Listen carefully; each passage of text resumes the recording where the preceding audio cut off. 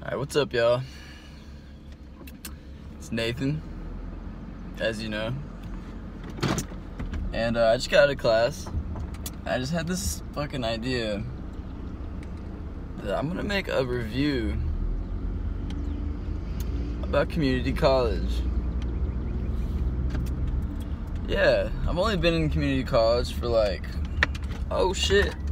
I'm gonna try to drive and do this.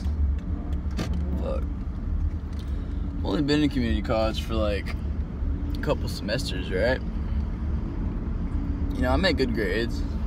Decent. But, um, yeah, man. This review is gonna be the deciding factor for you.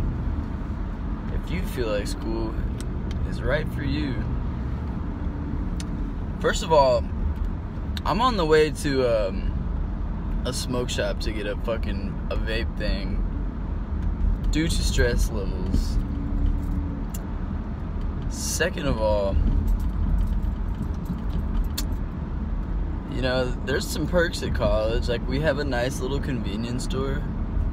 I just bought a pair of headphones and some snacks. Like I buy these fucking cookies all day, every day. Fucking 14 grams of protein, baby. But um, anyways, yeah, I wouldn't ever recommend doing this if you work full time. I'm 100% tired as fuck all the time. I'm pretty much late every day in the morning. But if you don't have like oh, God damn it. I'm gonna have to continue this guys. Alright, I'm back. If you don't know what this is, don't start buying these. I'm insanely addicted to these. It's terrible.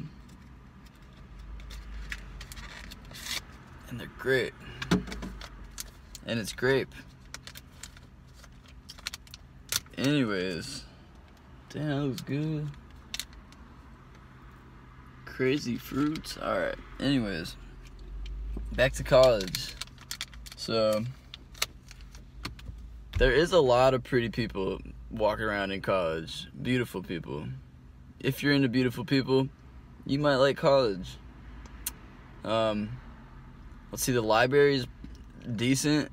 They have those desks that are like middle school ISS desks where you could fucking nap hard. Like, those are great. Perfect fucking college nap fucking session. Oh, bro, we're cutting it close. Um, college.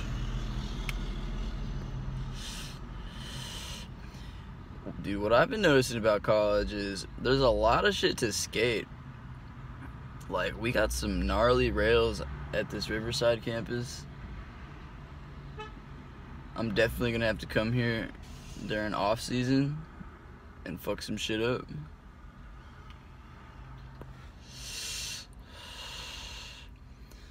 But when it comes to like studies, that shit's kind of random, man. I literally studied for a whole test yesterday and I was studying the wrong information. Her fucking review sheet was so like broad and not specific and everything I was memorizing, I was like memorizing like the fucking Bill of Rights, like dude, she didn't care about that. Uh, I don't know. It's a gamble, baby. Um, it also matters what degree you're going for. I don't know. I'm a nature boy, so I'm doing science. Um,